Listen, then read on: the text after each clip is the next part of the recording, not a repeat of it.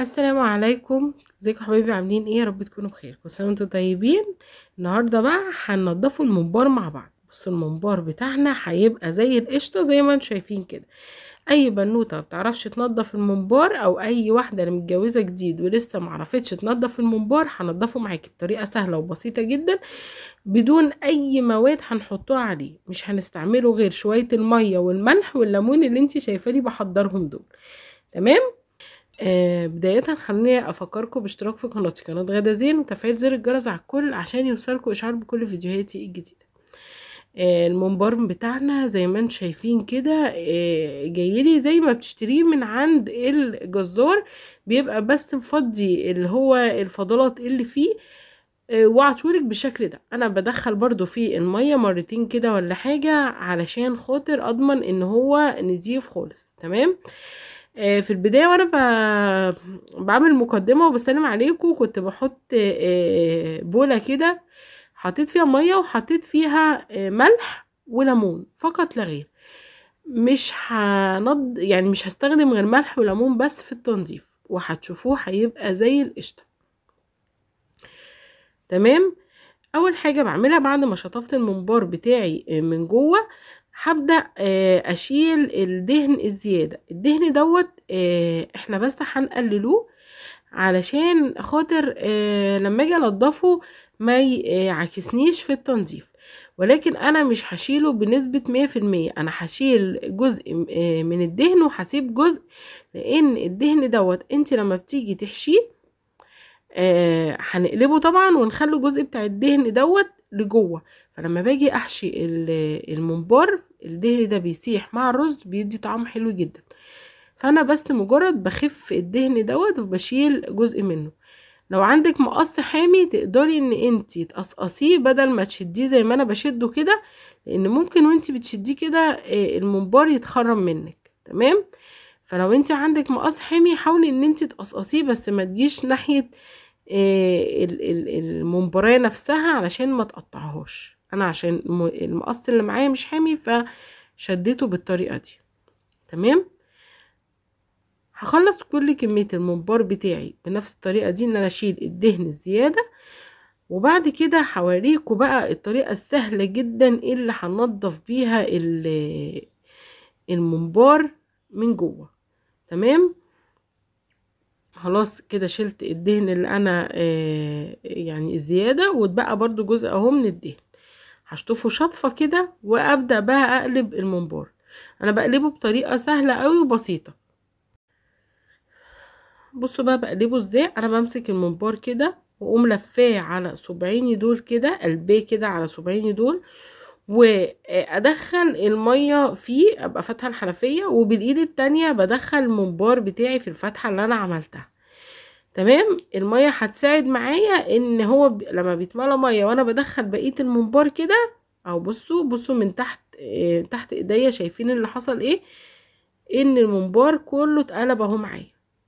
بعد ما دخلته كله أهو هبدأ أملى مية وأسحب بقى كده أهو الممبراية كلها اتقلبت. لو أنت هيبقى صعب عليكي إن أنت تقلبيها بطولها كده ممكن تقطعيها حتت يعني إيه حوالي نص متر. تمام؟ أهو تقلبي على الصبعين كده. وتنزلي المية جواه وبالإيد التانية تدخلي الممبار بتاعك. عبي شوية مية وتسحبي أهو بمنتهى السهولة. ولا استعملت بقى مقص ولا سكين؟ أنا شايفة ناس بتقلب بمقصات وبسكاكين وب... وبمسن لا. قلبت أهو. هبدأ أدخله كده. وقلبته أهو بالطريقة دي سهل جدا. بعدين هبدأ بقى إيه أقصه شوية. يعني كل حتة هتبقى طولها حوالي 30 سنتي كده. وأقوم قصاها علشان يسهل عليا طريقة التنظيف. هبدأ بقى يعني أهم مرحلة اللي هو تنظيف المادة اللزجة اللي فيه. عندي جلدة أنبوبة تقدري تجيبيها من أي مكان. جلدة الأنبوبة دي هي اللي هي بقى إيه اللي هتنضف لي كل حاجة. بدخل طرف الممبراية فيها وأبدأ أجر كده كل اللي فيها. بصوا نزل أهي. هعملها مرة تانية من الطرف التاني. تمام؟ وأبدأ أسحب كده. شايفين؟ كل بقى المادة اللزجة اللي فيها دي أهي طلعت. هعمل واحدة تانية معاكم. أو من طرفها بعديها كده جوه جلدة الأنبوبة وأسحب كده شايفين؟